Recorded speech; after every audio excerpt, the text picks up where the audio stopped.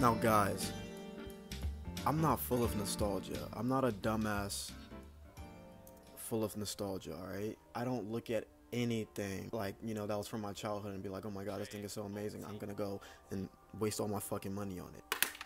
I'm actually pretty skeptical when it comes to shit. Like Nintendo, they're doing a lot of garbage right now. The N64, they dropped a few games, six games for the N64, with more to come later, like they, you know, always do with SNES and NES. But it costs $50 now, instead of the $20 for the NES and SNES. But now it costs 50 for six more games on the N64. Thank God I have a computer now. Cause I have Ocarina of Time on here, and I have Smash on here, and what what else? What else do I need? I'll get it. But come on, guys, it's Rockstar.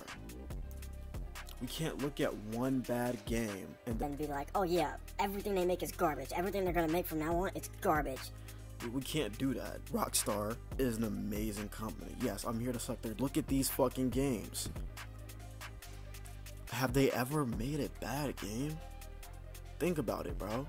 It's the same with Bethesda, bro. Why are we why are we making Bethesda like to turn out be such a fucking horrible company just because of Fallout 76? For one bad game, we're, we're just gonna throw away their entire fucking legacy? Are you kidding me right now?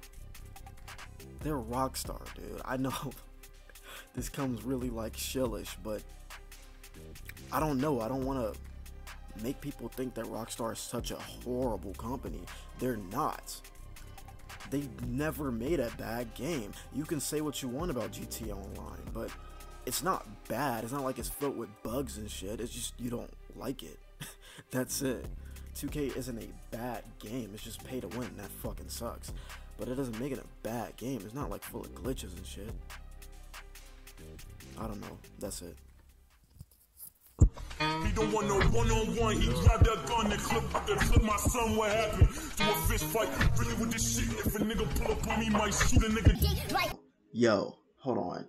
I know my audio sounds horrible, but look at this shit. I used the fucking GTA 5 trailer in my video while I was a dick sucking Rockstar telling them about how good of a company they are. and these niggas took my look, the video still stands, bro. The video still stands. Rockstar's in the bad company. Take two is.